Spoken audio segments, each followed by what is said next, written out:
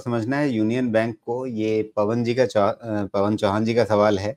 इन्होंने खरीद रखा है एक सौ तिरपन पे। टाइम फ्रेम हालाँकि इन्होंने भी नहीं बताया है। टाइम फ्रेम बताते तो और अच्छा रहता। तो पवन जी क्या करें? एक सौ तिरपन का इनका भाव है।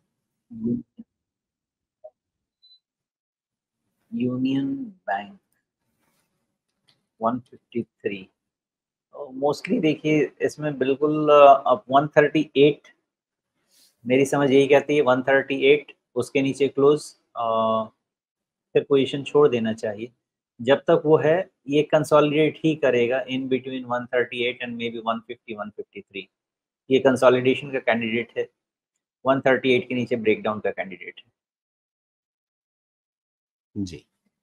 ओके।